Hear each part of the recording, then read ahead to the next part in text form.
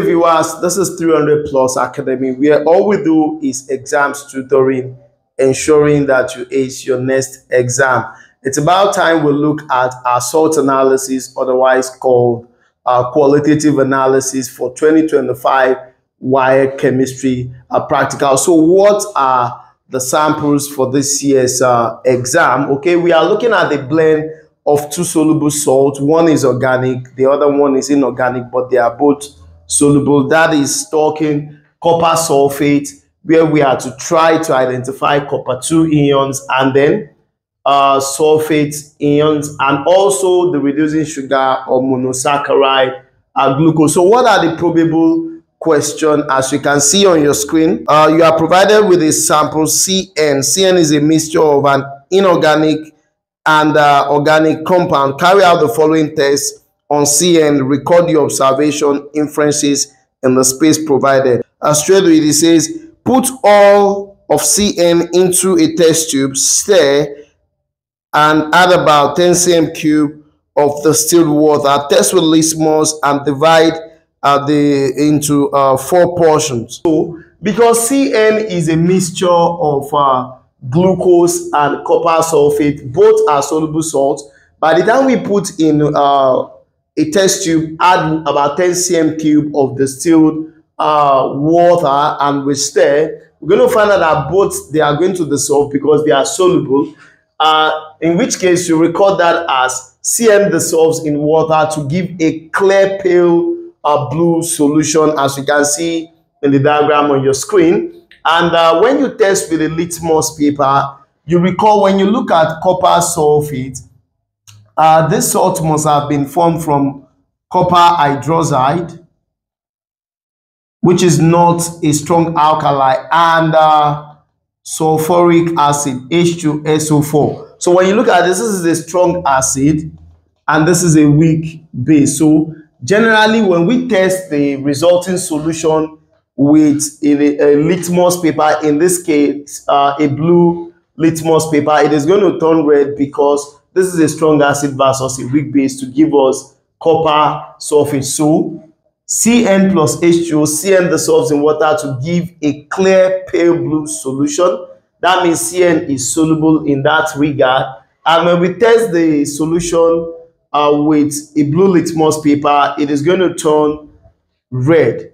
So we say the solution is acidic. Moving on to the next question, it says, uh, okay, we should divide uh, the resulting solution into four portions. To the first portion, add sodium hydroxide in drops and then in excess. Of course, you know, whenever we use sodium hydroxide to test, we are trying to test for uh, the positive ions, that's the cations, in this case, uh, copper 2 ions. So Cn plus sodium hydroxide in drops and then in excess, we're going to get a pale blue uh, gelatinous or jelly-like uh, precipitate. And by the time you add excess sodium hydroxide, you're going to have a case where the precipitate is not going to dissolve. Precipitate is insoluble in excess sodium hydroxide. At that point, you say copper 2 ions are present.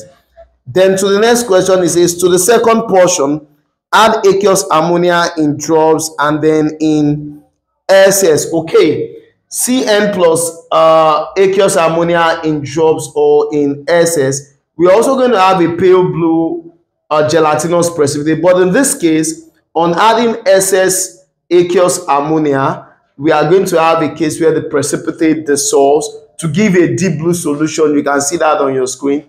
That way, copper 2 ion is confirmed for the third question. Moving on to the fourth question, as you can see on your screen, it says, to the third portion, add few drops of dilute hydrochloric acid, followed by a few drops of barium chloride. Of course, when you see a situation where we are using barium chloride and then having to acidify solution, that tells you we are trying to confirm for anions, okay? Solution C plus dilute HCl uh, plus barium chloride, that's going to give us a white precipitate. And this precipitate is not going to dissolve even when we add SS uh, dilute HCl, insoluble in SS HCl. In that case, SO42 minus is confirmed. That sulfate ion is confirmed.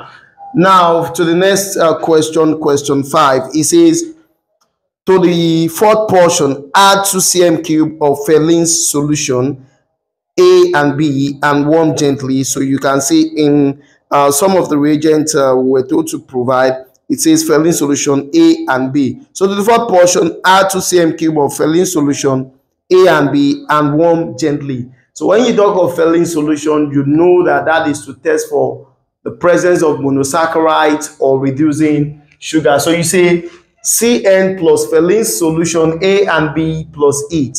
What is going to be the observation? Brick red precipitate form.